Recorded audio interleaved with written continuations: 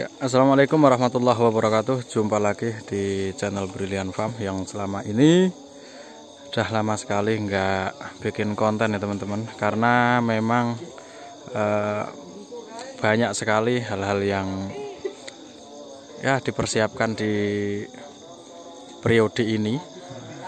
Salah satunya adalah Ini ya teman-teman. Kita memproses limbah sapinya menjadi sebuah pupuk organik.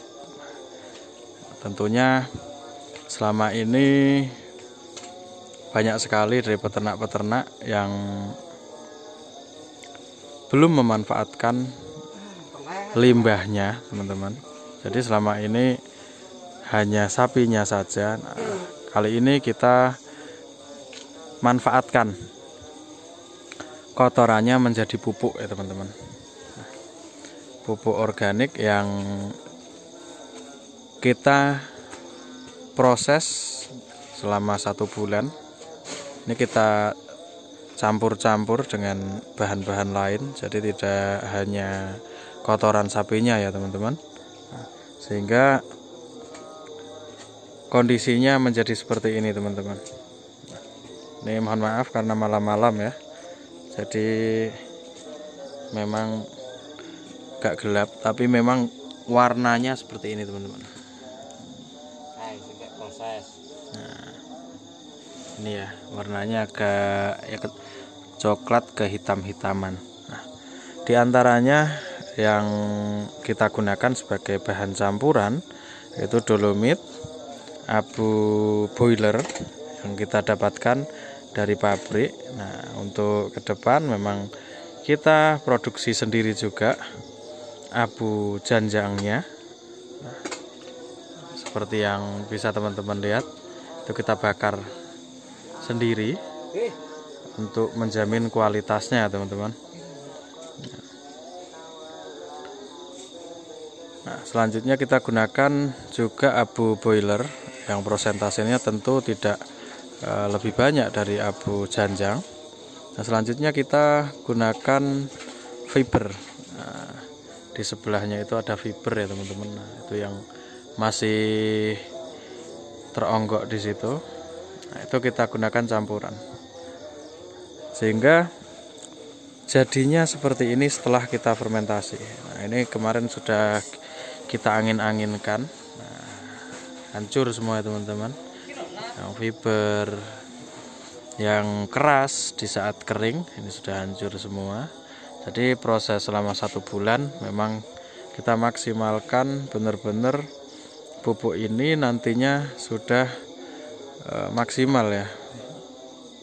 Bisa langsung diserap oleh tanaman yang dimiliki oleh petani yang membutuhkan pupuk ini. Nah ini teman-teman kita malam ini e, menyiapkan pesanan ini kita kemas di dalam karung. Nah, karena siang kita puasa sehingga malam-malam kita uh, ekstra ya untuk menyiapkan pesanan ini. Nah, ini nanti targetnya selesai dan besok kita bisa mengirimnya teman-teman. Nah, seperti ini karung yang kita gunakan ya teman-teman. Nah.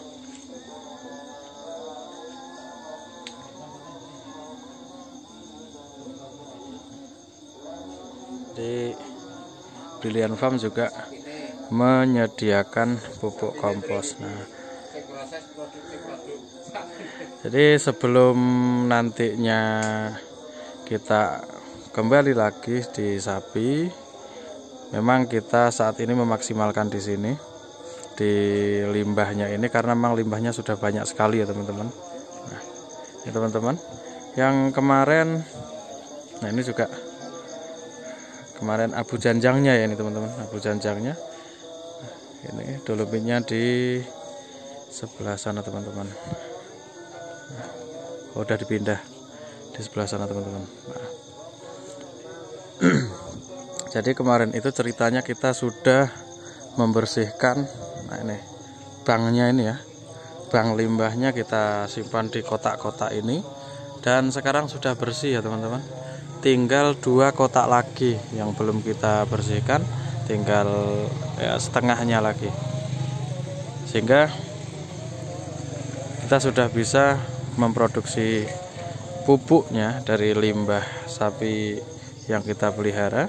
Adapun pesanan yang dari petani-petani kekurangan bahan di kandang kami kita nanti akan kerjasama juga dengan peternak-peternak yang lain. Nah ini teman-teman persiapan-persiapan kita ini di satu tempat ya. Ada uh, satu tempat lagi di mana bahan yang kita proses di awal nantinya setengah dari uh, pemrosesan selanjutnya kita pindah ke sini sehingga di sini sudah posisi tidak berbau lagi dan tinggal setengah proses lagi ya teman-teman. Ini penuh dengan bahan-bahan uh, yang akan kita jadikan pupuk.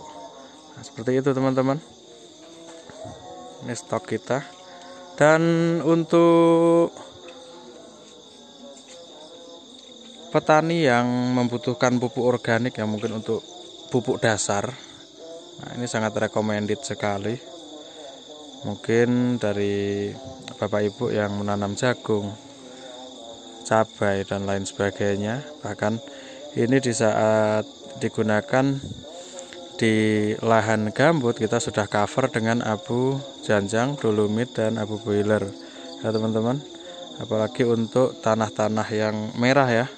Tanah merah yang padat sekali. Tentu membutuhkan penggembur ini sangat cocok digunakan di segala jenis tanaman.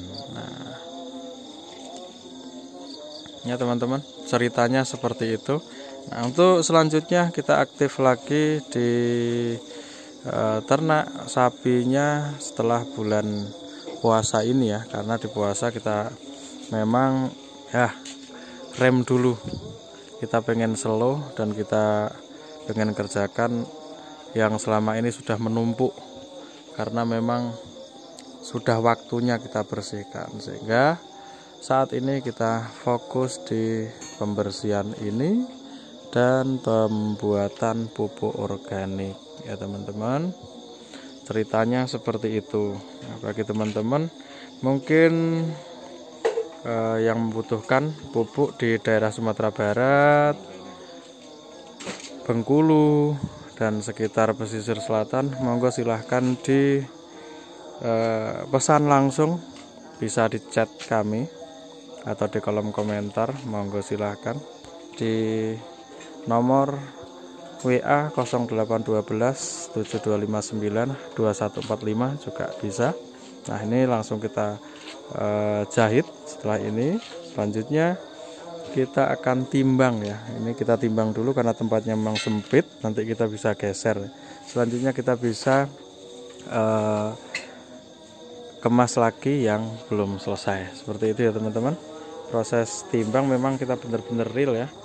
Kita timbang satu persatu karungnya. Sehingga di saat beli satu ton ya benar-benar satu ton. Bahkan eh, kita antisipasi kadang kita lebihkan kurang lebih di satu karung ya teman-teman.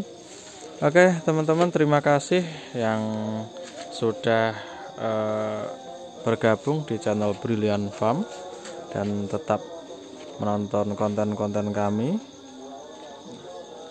Mudah-mudahan tetap semangat dalam peternak sapi ya.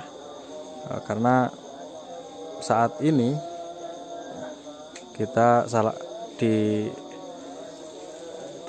untuk lebih kreatif lagi karena memang kondisinya sudah berbeda ya teman-teman. Kita lebih maju kita lebih berkembang itu harapannya. Nah jadi petani memang harus kreatif. Oke teman-teman kita lihat ya proses penimbangannya seperti ini. Nah ini kita maksimalkan di 45 kilo untuk saat ini. Karena apa? Karena karungnya kemarin kita pesan di ukuran yang biasanya e, muat 50 kilo sedang kosong. Sehingga ini agak kecil ya teman-teman. Di maksimal 45 kilo kita timbangnya seperti itu. Nah, ya kita proses penambahan. Kita maksimalkan di 45 kilo oke teman-teman mungkin sekian ya eh, saat tuh kali ini. Tetap semangat beternak sapi dan tetap kreatif. Salam ngarit salam brilian farm